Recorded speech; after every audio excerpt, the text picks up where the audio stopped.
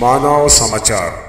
मानवता के हक में। आपण बघत आहात मानव समाचार मराठी. मी इब्राहिम शेख. बघूया आजची माणसाचे काळीज धडकवणारी या घडीची सर्वात मोठी अपडेट भीम आर्मी चीफ व आझाद समाज पार्टीचे अध्यक्ष चंद्रशेखर आझाद उर्फ रावण यांच्यावर युपी मधील सहारनपूर येथे त्यांच्या गाडीवर गोळीबार झाल्याची माहिती समोर आली आहे. चंद्रशेखर आझाद गाडीने जात होते त्यावेळी त्यांच्यावर काही अज्ञातांकडून गोळीबार करण्यात आला आहे. या हल्ल्यात चंद्रशेखर आझाद बचावल्याची माहिती समोर आली आहे. पण आझाद यांच्या कमरेला गोळी चाटून निघून गेल्याची माहिती मिळत आहे. त्यांच्यावर सध्या सरकारी दवाखान्यात उपचार सुरू आहे. या संबंधित घटनेमुळे एकच खळबळ उडाली आहे की चंद्रशेखर आझाद रावण यांच्यावर नेमका हल्ला केला कुणी? या विषयावर सर्वत्र चर्चेला उधाण आले आहे. बघत राहा अशाच ताज्या न्यूज अपडेटसाठी मानव समाचार मराठी.